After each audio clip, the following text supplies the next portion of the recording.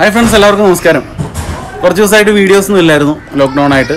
പക്ഷെ ഇന്നൊരു വീഡിയോ ചെയ്യാൻ ഉദ്ദേശിച്ചിരിക്കുകയാണ്. എന്തെന്ന് വെച്ച് കഴിഞ്ഞാൽ എന്റെ വണ്ടിയുടെ ബാറ്ററി ഡൗൺ ആയി. കുറച്ച് ദിവസമായിട്ട് ഞാൻ സ്റ്റാർട്ട് ചെയ്തിട്ടില്ല. എനിക്കൊരു പണി കിട്ടി. സത്യം പറഞ്ഞാൽ എന്റെ ഒരു അശ്രദ്ധ മൂലം സംഭവിച്ചതാണ്. ഞാൻ സ്റ്റാർട്ട് ചെയ്ത് ഇടയ്ക്ക് സ്റ്റാർട്ട് ചെയ്തിടണം വരണം എന്നിങ്ങനെ ആലോചിക്കും. മടി കാരണം എന്നാൽ പിന്നെ നാളെ ചെയ്യാം. നാളെ ചെയ്യാം എന്നുള്ളൊരു മടി കാരണം വെച്ച് വെച്ച് വെച്ച് ഇന്നിപ്പോൾ സ്റ്റാർട്ട് ചെയ്ത് തരാൻ വേണ്ടിയിട്ട് വന്നു നോക്കി കഴിഞ്ഞപ്പോൾ സ്റ്റാർട്ട് ആവുന്നില്ല. അപ്പോൾ ഇതിനകത്ത് ചെറിയൊരു പണി ചെയ്ത് നമുക്ക് സ്റ്റാർട്ട് ചെയ്തെടുക്കാം. നമുക്ക് വീട്ടിൽ തന്നെ ഈ ബാറ്ററി നമുക്ക് ചാർജ് ചെയ്തെടുക്കാൻ പറ്റുന്ന ഒരു രീതി. നമുക്ക് എങ്ങനെയാണെന്നൊന്ന് നോക്കാം. സ്പാനർ ഉപയോഗിച്ച് ആദ്യം ഈ രണ്ട് ടെർമിനൽസ് ഒന്ന് ലൂസാക്കി എടുക്കുക ടെർമിനൽസ് നിങ്ങൾ അഴിക്കുമ്പോൾ ഒരു കാര്യം ശ്രദ്ധിക്കണം. പോസിറ്റീവ് ആണ് ഏതാണ് നെഗറ്റീവ് ഏതാണ്? വെച്ചാൽ ഇതിനകത്ത് മികവ് മാർക്കിംഗ് ഉണ്ടാവും. എന്നാലും നിങ്ങളൊന്ന് ഓർത്ത് വെച്ചേക്കുക. ഞാൻ അഴിച്ചിവിടെ ഒരു പോസിറ്റീവ് നെഗറ്റീവ് മാർക്കിംഗ്. ഇത് നെഗറ്റീവാണ് നെഗറ്റീവിന്റെ മാർക്കിംഗ് അവിടെ കാണാം. പോസിറ്റീവാണിത് പോസിറ്റീവിൽ ഇങ്ങനെ ഒരു റെഡ് കളർ എന്തെങ്കിലും ഉണ്ടായിരിക്കും മിക്കവാറും. അപ്പോൾ ഞാനിപ്പോൾ ഇത് അഴിച്ചു കഴിഞ്ഞു. ഇനി ഞാനിത് എടുക്കാൻ പോവാണ്. ബാറ്ററി എടുക്കാൻ പോവാണ്. കാറിന്റെ ബാറ്ററികളെല്ലാം ട്വൽവ് വോൾട്ട് ആയിരിക്കും. ഇപ്പോൾ ഇതിരിക്കുന്ന ടാറ്റ ഗ്രീൻ ബാറ്ററീസിന്റെ ബാറ്ററിയാണ് നമുക്ക് നോക്കാം ഇനി എന്താണ് ചെയ്യേണ്ടതെന്നുള്ളത്. ഓക്കെ അപ്പോൾ ഞാനിത് ചെയ്യാൻ പോകുന്നത് ബാറ്ററി ചാർജ് ചെയ്യാൻ പോകുന്നതെന്ന് വെച്ച് കഴിഞ്ഞാൽ നമ്മുടെ വീട്ടിലെല്ലാം ഉള്ള ഇൻവെർട്ടർ ഉപയോഗിച്ചിട്ടാണ്. ഇൻവെർട്ടറുകൾ എല്ലാം തന്നെ പന്ത്രണ്ട് വോൾട്ടാണ്. നമ്മുടെ കാർ ബാറ്ററിയും പന്ത്രണ്ട് വോൾട്ട് തന്നെയാണ്. അപ്പോൾ പിന്നെ ഉള്ളത് ആംസിലൊക്കെയാണ് വ്യത്യാസം വരുന്നത്. നമുക്ക് അത്യാവശ്യ ഘട്ടത്തിൽ ഈ ഒരു സാഹചര്യത്തിലൊക്കെ നമുക്കിത് ഉപയോഗിക്കാം. എപ്പോഴും ഇത് ഉപയോഗിക്കാമെന്നല്ല. പിന്നെ ഇത് ചെയ്യുമ്പോൾ വളരെ വളരെ ശ്രദ്ധിച്ചു വേണം ചെയ്യാനായിട്ട്. പിന്നെ ഇതെങ്ങനെയാണ് ചെയ്യുന്നത് ഞാൻ ഒന്ന് പറയാം. അതായത് ഇപ്പോൾ എന്റെ വീട്ടിലെ ഇൻവെർട്ടർ ബാറ്ററിയാണ്. ഇൻവെർട്ടർ ബാറ്ററിയുടെ രണ്ട് ടെർമിനലിൽ നിന്നുള്ള വയറുകൾ ഞാൻ അഴിച്ചെടുത്തു. അതായത് കാണുന്നതാണ്. ഈ റെഡും ബ്ലാക്കും. ഇത് ആയിരുന്നു ആ ബാറ്ററിയിൽ നിന്നുണ്ടായിരുന്നത്.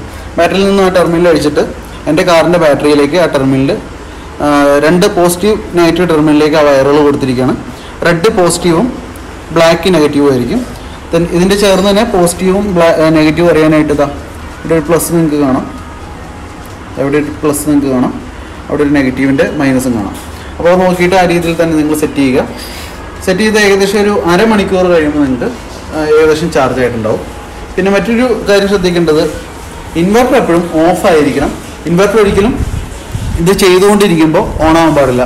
ഓഫ് ചെയ്ത് വെച്ചിട്ട് വേണം ചെയ്യാനായിട്ട്. കാരണം എപ്പോഴെങ്കിലും ഇത് കറണ്ട് പോയി കഴിഞ്ഞാൽ റിലേ സ്വിച്ച് മാറി തിരിച്ച് ബാറ്ററിയിൽ നിന്ന് കറണ്ട് എടുത്ത് ബാക്കിയുള്ള പവർ സപ്ലൈയിലേക്ക് പോകാൻ സാധ്യതയുണ്ട്. അങ്ങനെ ചെയ്തു കഴിയുമ്പോൾ സംഭവിക്കാൻ എന്താണെന്ന് വെച്ച് കഴിഞ്ഞാൽ ഈ ബാറ്ററിക്ക് ഓവർലോഡ് വന്ന് ബാറ്ററിയുടെ സെല്ലൊക്കെ അടിച്ചു പോകാനുള്ള സാധ്യതയുണ്ട്. അപ്പോൾ അതുകൊണ്ട് ആരും ഇൻവെർട്ടർ ഓൺ ആക്കി ഇട്ടിട്ട് ചെയ്യരുത്. ഇൻവെർട്ടർ ഓഫ് ആക്കി ഇട്ടിട്ട് മാത്രം ഇത് ചാർജ് ചെയ്യുക. നമുക്കൊരു അരമണിക്കൂർ വെക്കാം. അരമണിക്കൂറിന് ശേഷം നമുക്കൊന്ന് ഒന്നുകൂടി കൊണ്ടുപോയിട്ട് നമുക്ക് ചെക്ക് ചെയ്ത് നോക്കാം. ഇതിൽ മറ്റൊരു കാര്യം കൂടി ശ്രദ്ധിക്കേണ്ടതെന്ന് വെച്ച് കഴിഞ്ഞാൽ നല്ല ടൈറ്റ് ആയിരിക്കണം. ഈ കണക്ഷൻസ് നമ്മൾ ടെർമിനൽസിലേക്ക് ചാർജ് ചെയ്യുന്ന ഈ വയറുകളൊക്കെ കണക്ട് ചെയ്ത് നല്ല ടൈറ്റ് ആയിട്ടായിരിക്കണം. അപ്പോൾ അതുകൊണ്ട് നമ്മൾ ഈ ഒരു കെട്ടുകമ്പി പോലെ ഒരു കമ്പി ചുറ്റിയിട്ടുണ്ട്. അതുകൂടാതെ നല്ല ടൈറ്റ് ആയിട്ടിരിക്കാൻ വേണ്ടിയിട്ടൊരു വള്ളി കൂടി അതിന്റെ കൂടെ ചുറ്റി വെച്ചിട്ടുണ്ട്. ഈ രീതിയിലാണ് കൊടുത്തിരിക്കുന്നത്. പിന്നെ നിങ്ങളുടെ കയ്യിൽ ഇത്തരത്തിലുള്ള ക്ലിപ്പുകൾ ഉണ്ടെങ്കിൽ എന്റെ കയ്യിലുള്ള ക്ലിപ്പ് തീരെ ചേർത്താണ് കുറച്ചുകൂടി വലിപ്പമുള്ള ക്ലിപ്പ് ഉണ്ടെങ്കിൽ ഈ ക്ലിപ്പ് ഇട്ട് വയ്ക്കുകയാണെങ്കിൽ ഇത് രണ്ടും കൂടി കൂടി ചേർത്ത് പിടിക്കാൻ പറ്റുന്ന തരത്തിലുള്ള ക്ലിപ്പ് ഇട്ട് വയ്ക്കാൻ പറ്റുമെങ്കിൽ അതായിരിക്കും ഏറ്റവും ബെസ്റ്റ് പിന്നെ ഇത് ചെയ്യുമ്പോൾ സൂക്ഷിച്ച് ചെയ്യുക. നിങ്ങൾ പേപ്പറിന്റെ മുകളിലോ പ്ലാസ്റ്റിക്കോ മറ്റൊക്കെ വെച്ചിട്ട് ചെയ്യുക. ഷോക്ക് അടിക്കാതിരിക്കാൻ പരമാവധി ശ്രദ്ധിക്കുക. ഞാനിപ്പോൾ ഒരു ഒന്ന് അരമണിക്കൂറോളം. ഒരു മണി തൊട്ട് ഒന്നര തൊട്ട് ഒന്നര വരെ സമയത്തിന് ഞാൻ ഇത് ബാറ്ററി ചാർജ് ചെയ്തു. ഇൻവെർട്ടർ ഉപയോഗിച്ചിട്ടാണ് ചെയ്തത്. ചെയ്യുമ്പോൾ ശ്രദ്ധിക്കേണ്ട കാര്യങ്ങൾ ഞാൻ പറഞ്ഞിരുന്നു. വളരെ പ്രത്യേകം ശ്രദ്ധിച്ച് ശ്രദ്ധയോടുകൂടി മാത്രം ചെയ്യുക. ഇൻവെർട്ടർ ഓഫ് ചെയ്തിട്ടിട്ട് ചെയ്യുക. മെയിൻ മാത്രം ഓണാക്കുക ഇൻവെർട്ടർ കണക്ട് ചെയ്ത ശേഷം മാത്രമാണെങ്കിലും മെയിൻ ഓണാക്കുക ഇൻവെർട്ടറിന്റെ സ്വിച്ച് ഓണാക്കരുത് കാരണം ഇടയ്ക്ക് എപ്പോഴെങ്കിലും കറണ്ട് പോയി കഴിഞ്ഞാൽ തിരിച്ച് ബാറ്ററിയിൽ നിന്നും കറണ്ട് തിരിച്ച് കയറി പോകും അപ്പോൾ അത് ഹെവി ലോഡൊക്കെ ആണെങ്കിൽ ചിലപ്പോൾ കംപ്ലൈന്റ് വരാനുള്ള സാധ്യത ഉണ്ട് അപ്പോൾ അതുകൊണ്ട് ഇൻവെർട്ടർ ഓഫ് ചെയ്തിട്ട് ചെയ്യുക. വളരെയധികം സൂക്ഷിച്ച് ചെയ്യുക. ഓക്കെ അപ്പോൾ ഞാനത് ഫിറ്റ് ചെയ്തു. നമുക്കിനി കാറിന്റെ അകത്തൊന്ന് കയറി നോക്കാം. സ്റ്റാർട്ട് ആവുന്നുണ്ടോ എന്നുള്ളത് ഓക്കെ നമുക്കൊന്ന് സ്റ്റാർട്ട് ചെയ്ത് നോക്കാം.